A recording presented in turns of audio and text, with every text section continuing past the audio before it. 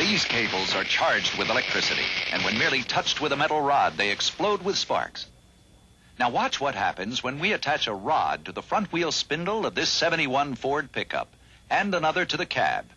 Then we drive the Ford pickup over this bone-jarring course of 4x4s. Look, the rod attached to the wheel is setting off a steady array of electrical flashes. That's because the wheels are taking such a pounding. But notice the cab rod rides smoothly between the electrical cables, never touches them. That's because only Ford has twin I-beam front suspension, two front axles instead of one, that step over bumps independently for a smooth car-like ride.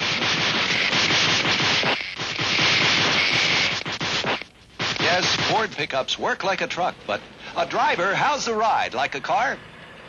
Beautiful. In pickups, too, Ford gives you better ideas.